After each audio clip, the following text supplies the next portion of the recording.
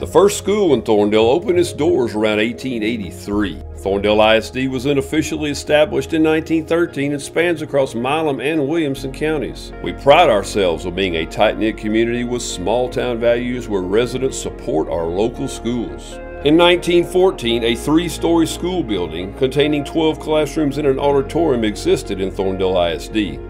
In 1940, a storm damaged the third story of that building. Thorndale ISD's oldest existing building, the middle school gym, was constructed in 1949. The current middle school was built in 1966, followed by the agriculture building in 1968 and other buildings ranging from 1978 through 2009. The last successful bond was in 1996 to construct the current high school and gym. Thorndale ISD has a history of excellence, including state championships in basketball, tennis, football, baseball, powerlifting, and track and field, as well as a state championship in marching band. National recognition in FCCLA and countless awards in FFA, fine arts programs, and UIL academic events.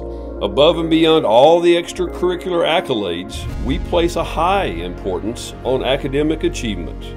Thorndale ISD prides itself in maintaining a high staff retention rate with the average teacher experience being over 15 years compared to only 11 for the state.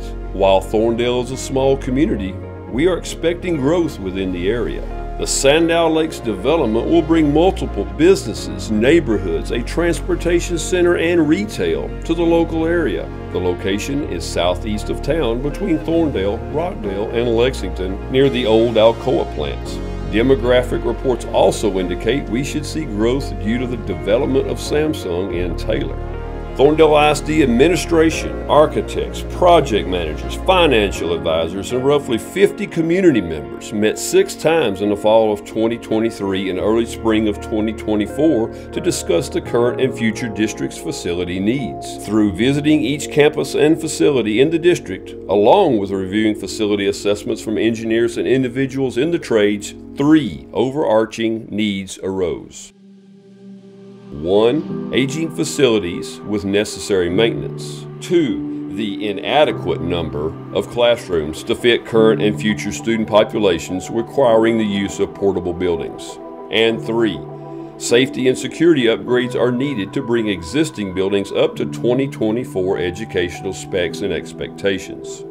The Facilities Committee determined the following priorities to focus on the 2024 bond ballot, with a note of future projects that were desired for a potential future bond, including a new high school built on purchased land with classrooms, cafeteria to kitchen, ag facilities, career and tech education including culinary, band and fine arts, and a field house.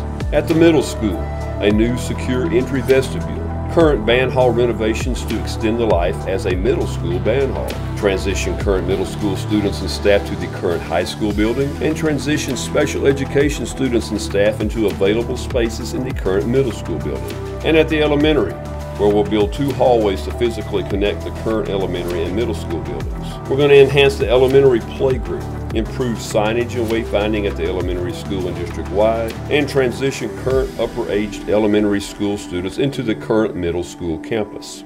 This plan would also allow for the current field house to remain and serve as a visitor's locker room on home football games and also as a junior high space. Our current ag building would remain and serve as additional storage for the district.